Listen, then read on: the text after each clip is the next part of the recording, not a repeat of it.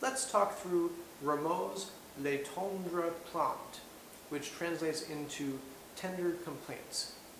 This piece was originally for the harpsichord and was one of the few character pieces that Rameau composed. A character piece is usually uh, a short piece uh, that explores a very specific mood or character. I think with a title like Tender Complaints, we can easily imagine that this must be some sort of love song. We should consider whether or not to sustain fully the first few measures of the piece.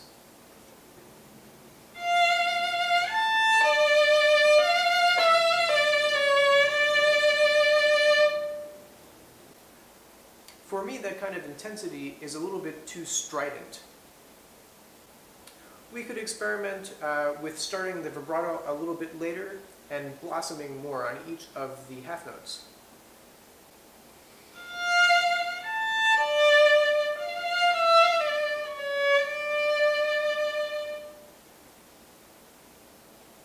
Or at measure 17,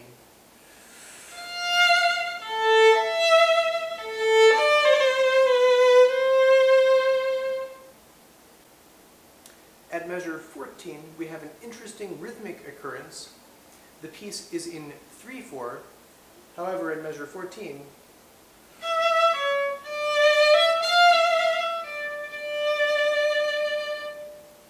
we have what's called a hemiola, which almost makes it sound as if we've changed into a different time signature, a big 3-2 measure. There are many trills in this piece, and I think the trill is a very expressive feature. We can keep the speed of the trill constant, or we could start slower and get faster, or start faster and get slower. At measure 29, going into the forte, I thought, hey, why not start a little bit slower on the trill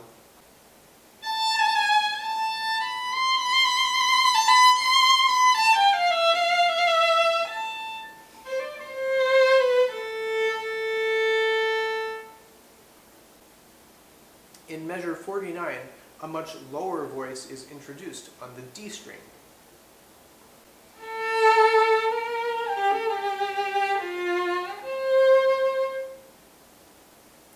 I think we should decide whether or not to be a little bit warmer and stronger at this point, or even more thin and more airy.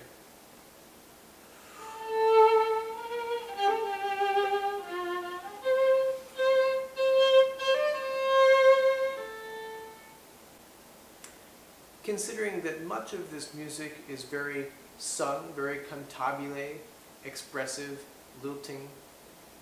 One of the stranger sections is at measure 60, where we start to have a little bit more uh, dotted eighth notes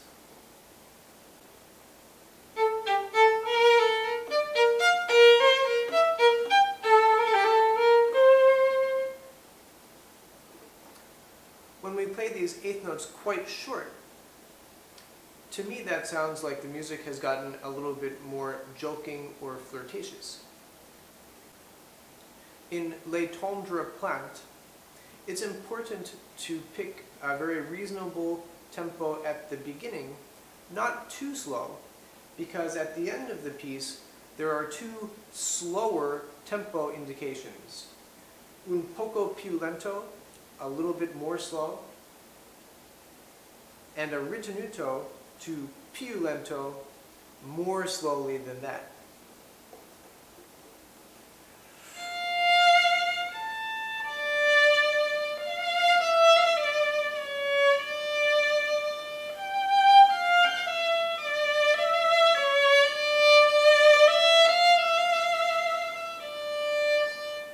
And I think at the più lento, um, it's not necessary to have a whole lot of vibrato. In fact, it might even be uh, a good experiment to try completely non-vibrato, dying away, uh, very far away sounding.